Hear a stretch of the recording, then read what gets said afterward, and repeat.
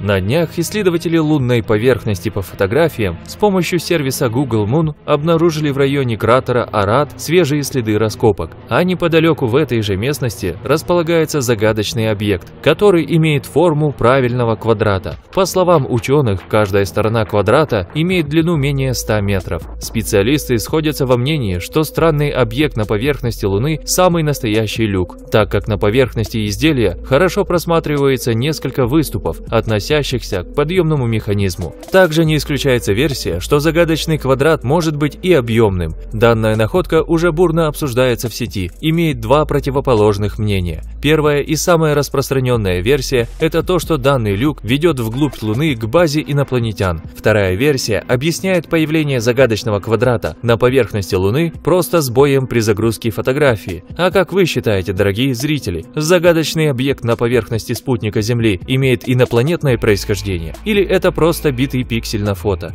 Оставляйте свое мнение в комментариях, мне будет интересно почитать. Ну а я с вами прощаюсь, до скорого!